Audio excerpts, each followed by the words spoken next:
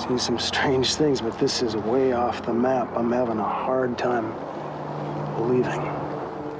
Harry, is it easier to believe a man would rape and murder his own daughter?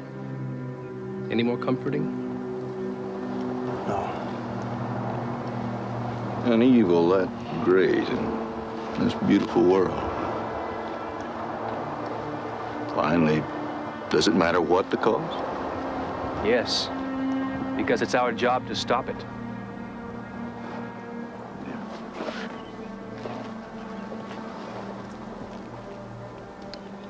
Maybe that's all Bob is.